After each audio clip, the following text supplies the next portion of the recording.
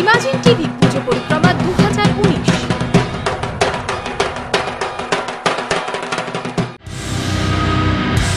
বহরমপুরের সেরা পুজো নিবেদনে মে শাওমি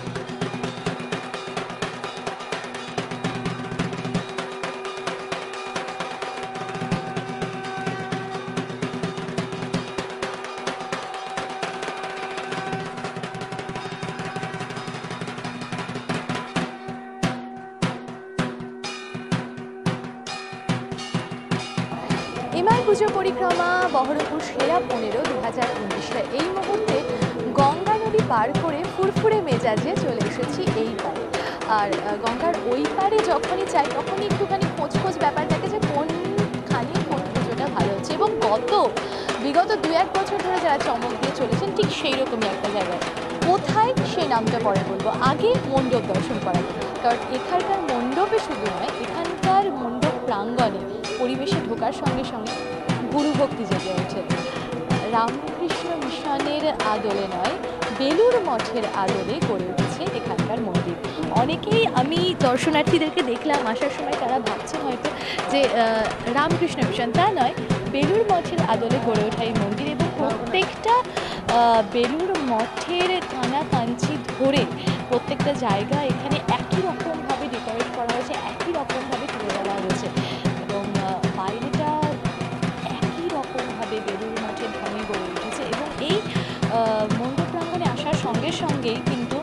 আমাদের বেলুর মঠের যেটা নিত্য সন্ধ্যারতি সেটা শুনতে পাবেন আপনি সুতরাং সব কিছু মিলিয়ে কিন্তু একটা অপূর্ব পরিবেশের সমাহার এখানে।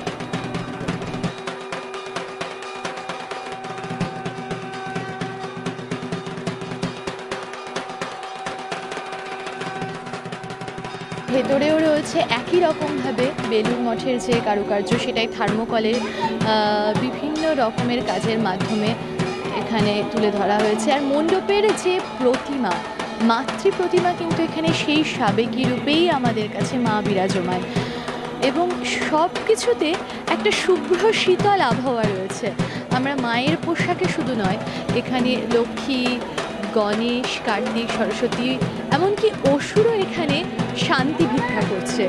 সুতরাং সব কিছু মিলিয়ে ভীষণ শান্তির একটা পরিমণ্ডল গড়ে উঠেছে।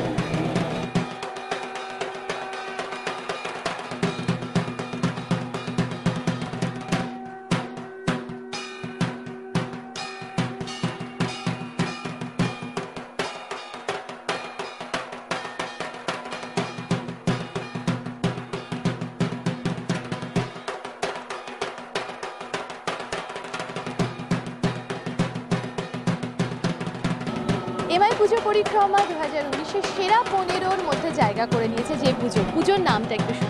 আমাদের গোয়ালিয়ান সেবা সমিতি ক্লাবের বেলুর মঠের আদলে এবারের মণ্ডপ। আচ্ছা গত বছর আমরা এখানে দক্ষিণেশ্বর দেখেছিলাম। এবছর বেলুর মঠ। এই কয়েকটা জিনিসের মধ্যেই কেন ঘোরাঘুরি করে আসলে দক্ষিণের স্বরের সঙ্গে মানে একই সঙ্গে উচ্চারণ হয় বেলুর মঠের কথা।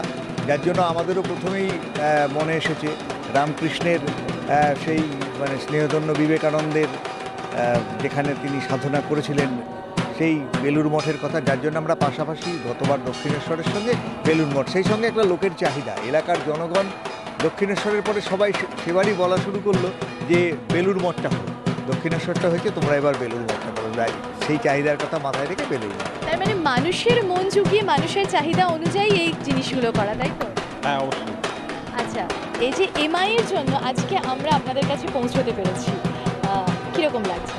খুবই ভালো যে এই আপনারা এভাবে আমাদের সঙ্গে থাকছেন আমাদের তাতে প্রচার এবং লোকের কাছে যে পৌঁছানোর ব্যাপারটা অনেক সহজ হয়ে যাচ্ছে। আহ, এমনিতেই বহু মানুষের কাছে পৌঁছেছে বেলুর মঠের খবর তবু আপনাদের এই সহযোগিতা না থাকলে হয়তো আরও বেশি বেশি মানুষের কাছে আমাদের পৌঁছানো সহজ হতো না।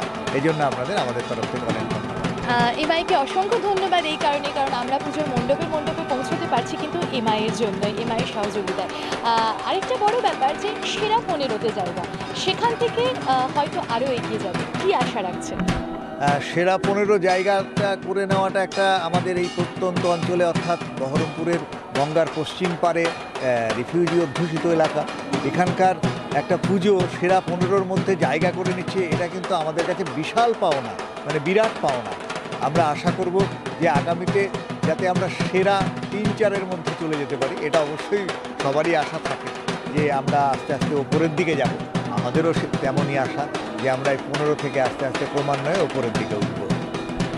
সুতরাং গঙ্গার ধারে যদি সুন্দর পরিবেশে সন্ধ্যারতি দেখতে দেখতে বলতে পারব না, সন্ধ্যারতির সময় যদি আসেন তাহলে অবশ্যই সেটা দেখতে পাবেন। কিন্তু এই যে একটা অপূর্ব পরিবেশ, সেই পরিবেশে যদি আপনার নিজের শহরে বসে বেলুর মঠ দর্শন করতে চান, তাহলে অবশ্যই আসতে হবে গোয়া যান সেবা সম্পর্কে চোখ রাখুন ইমাজিনের